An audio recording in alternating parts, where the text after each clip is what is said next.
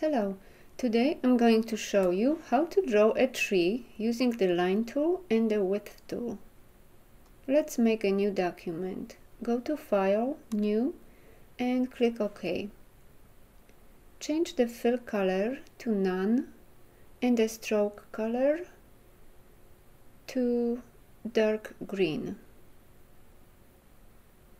Go to Line Segment tool Click on top of the page and holding the shift key on your keyboard, draw a straight line.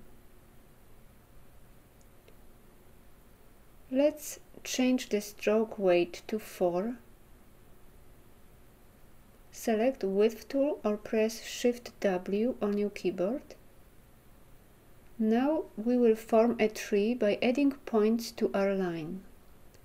Let's add a first point about right here. Click and hold and drag it out.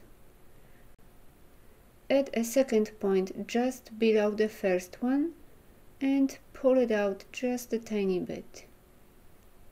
And again, add another point, click and pull it out. Repeat the same process until you get to the bottom.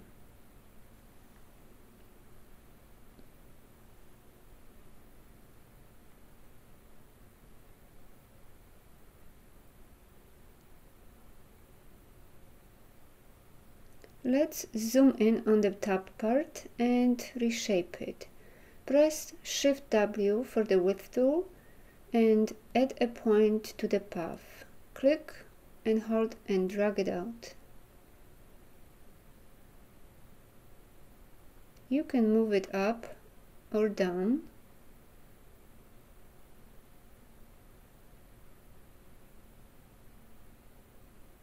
Or in and out until you get the desired shape. Press Ctrl 0 to fit the artboard in the window.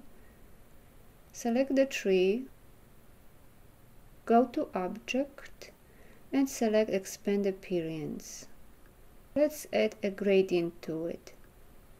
Open the gradient panel and change the black color to green.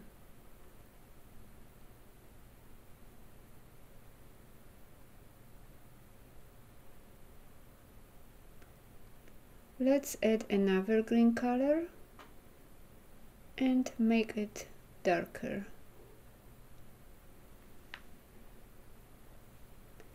And light green color in place of white.